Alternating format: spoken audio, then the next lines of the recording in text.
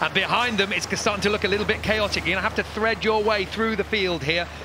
Przybytek and Kolodzinski from Poland coming round and you can see how far over, how far over the layline Poland 10 was. They managed to get themselves through, I believe. They're going to be tacking there.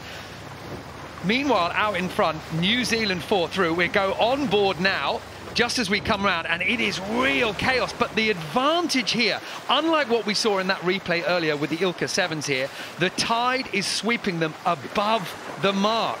So people are able to come in a little bit late and there is some space being generated. Light winds on the way down, Spain becalmed underneath the green spinnaker of the World Championship pair in waiting, the Netherlands team. Great Britain also having to come up, James Prince Stewart really pushing the bow up, trying to get a little bit of pace, and there's no trouble for those boats out in front with clear air.